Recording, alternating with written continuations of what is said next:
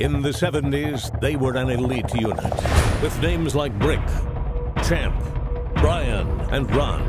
They rose like the phoenix, and then they were gone. Their legend became but a whisper, told by the trees, until now.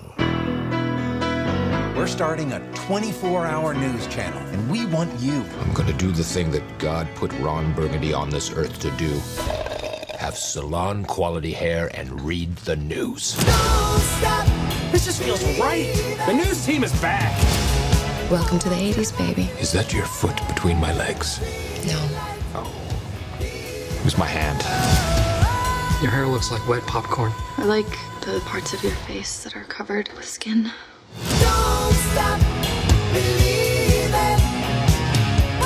That's Jack Lime. Look at him.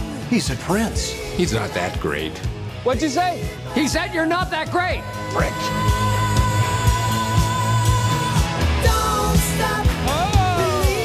I don't read Jet Magazine or uh, Jheri Curl Daily. What are you doing? I'm breaking down the barriers of race by assimilation. And on that note, which one of you convicts with the longest record can pass me the mashed potatoes?